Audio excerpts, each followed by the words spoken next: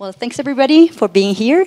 Uh, the paper I'm about to present is called Motherhood and Flexible Jobs, Evidence from Latin American Countries. This is joint work with a lot of colleagues from Argentina. Uh, Inés Berniell Mariana Marchionni from CEDLAS, Universidad de La Plata, and Lucila Berniell and Dolores de la Mata from CAF. And I am Maria from Universidad de San Andrés in Buenos Aires.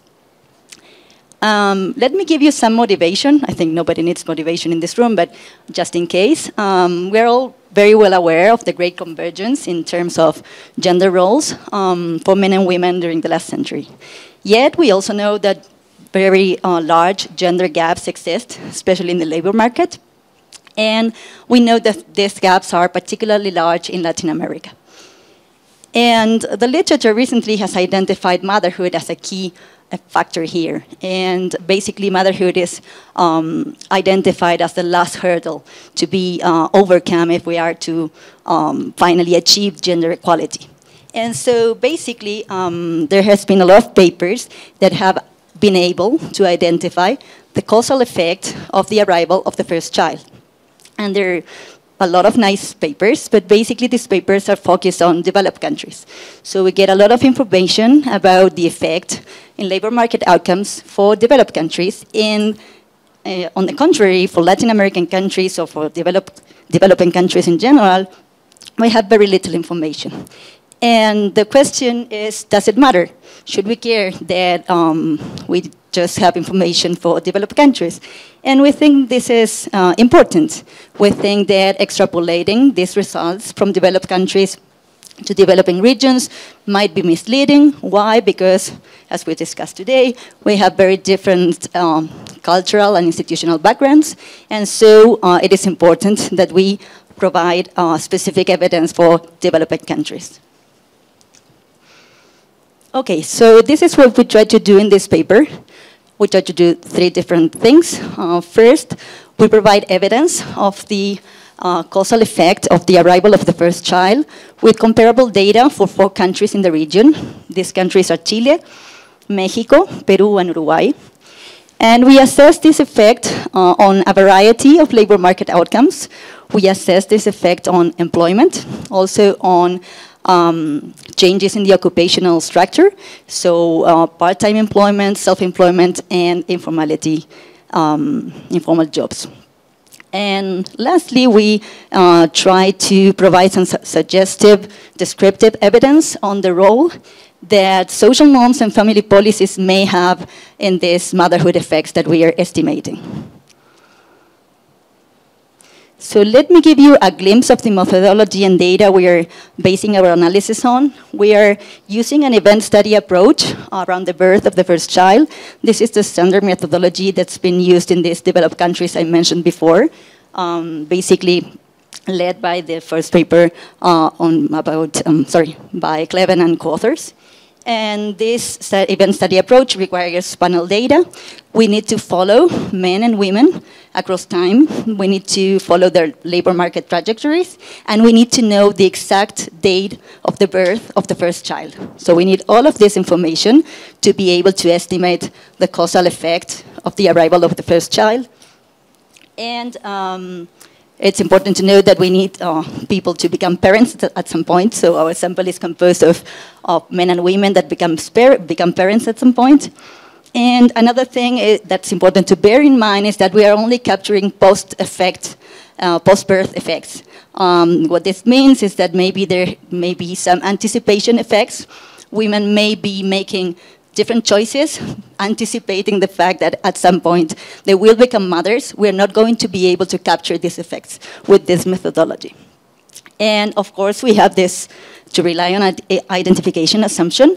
And this identification assumption is that the timing of the event is not correlated with the labor outcome we are looking at, conditional on having a child in the sample period, and on, all, on the included controls. Okay, so this is the equation we are estimating. Let me walk you through a little bit. On the left-hand side, we have our outcomes of interest. So Y is our outcome of interest for individual I in time t. Y are going to be four different labor market outcomes. It's going to be employment, self-employment, part-time employment, and informality. And then on the right-hand side, The first term is the most important. Here we have a set of dummy variables that what uh, they're doing is that they're indicating um, the relative um, distance to the birth of the first child.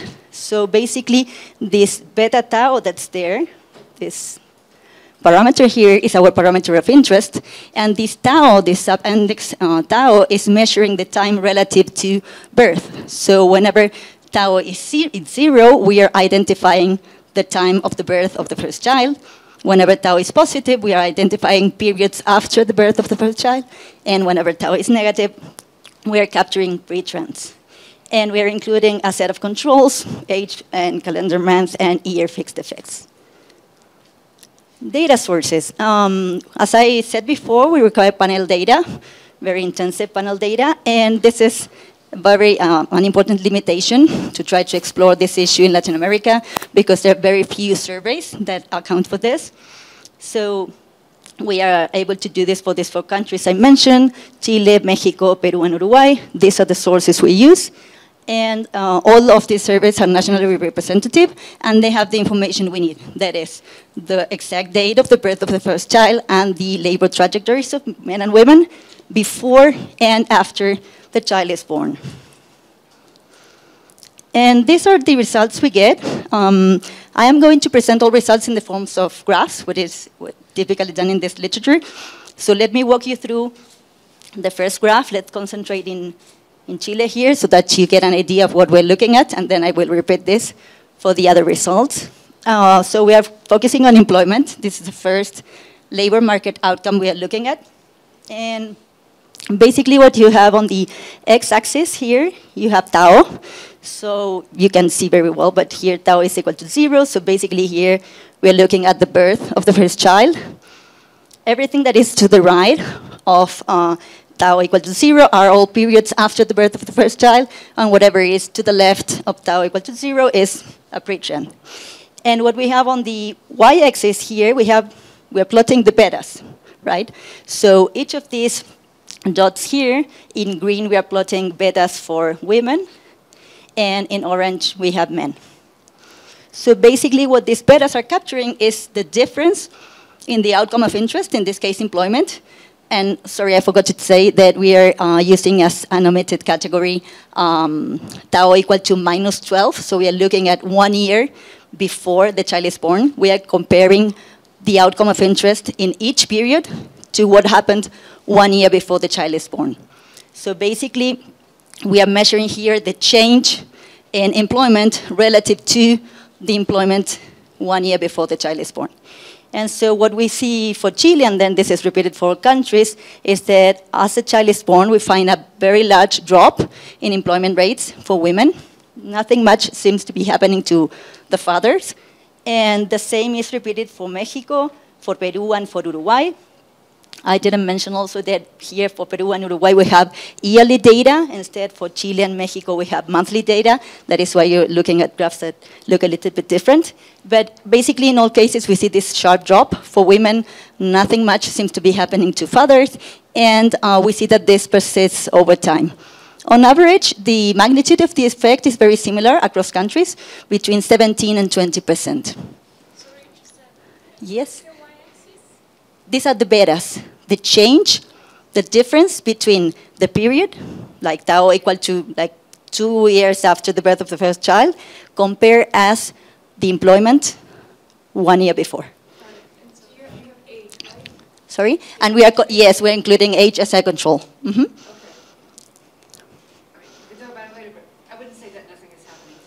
Yes, in Mexico, right? Yes, yes. yes, yes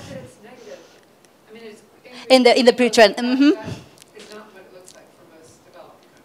Here in the pre-trend, right? Or after after the child is born. Mm -hmm. Yes. Okay. Okay. That's before. You mean this, right? Yeah. Mm -hmm. Yes. Uh, we're focusing on this large drop that's happening here, like after the birth. What I meant is after the birth, but actually in Mexico we are seeing something. But we are concentrating. Sorry. Okay. No, no, no, okay. Yes. Okay, so this is employment.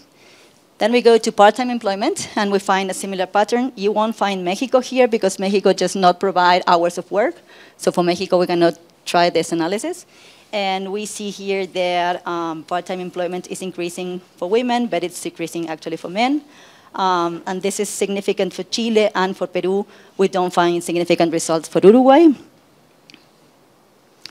Then we have self-employment, and here again, women seem to be taking up uh, self-employment uh, in Chile and in Mexico.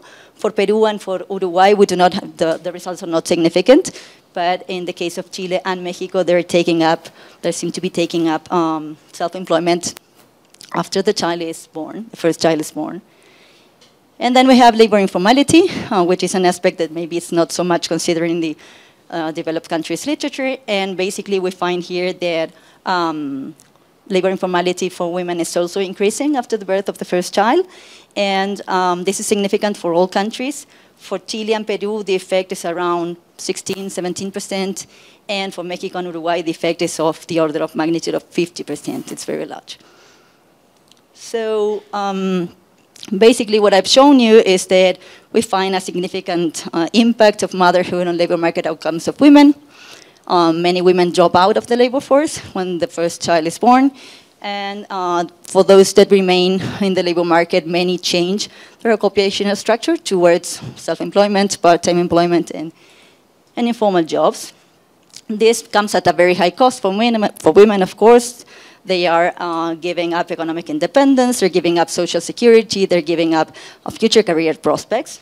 And of course, these choices have also a positive side, right? They're, they're offering flexibility to women. And so the question is, why are women willing to, to trade these present and future benefits uh, for time flexibility?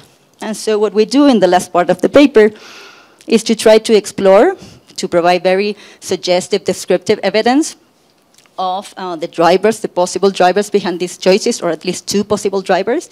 There are gender norms and family policies. And of course, we know that um, this is very difficult to do. We have a lot of endogeneity issues here, and so it's very, they are very difficult to overcome. And even uh, further on, we have uh, very strict data restrictions for the Latin American region. And so we decide to go on a descriptive route, and that's okay. But even if we stick to our descriptive analysis, we find further challenges because ideally what we would like to have is to have the, these causal effects for all Latin American countries and make some correlations with gender norms and family policies for the whole set of Latin American countries. But of course, as I told you, we are only able to produce these causal effects for four countries in the region. And we think that it's, it would be a little bit misleading to base our analysis, our correlational analysis, only on four countries. So what we do for this, uh, the exercise we do is to um, rely on a, an approximation of this causal motherhood effect. And we are not looking at here at causal effects, but rather we are computing the gaps between mothers and non-mothers in labor market outcomes. So the difference between uh, mothers and non-mothers in uh, employment in self-employment, part-time employment, and so on and so forth. And we use this as an approximation of the motherhood effect. We call this the motherhood gap to make a difference. And we correlate these gaps to the prevailing gender norms and family policies in the region. Um, we take the data from SEDLAC, uh, the database from CEDLAS.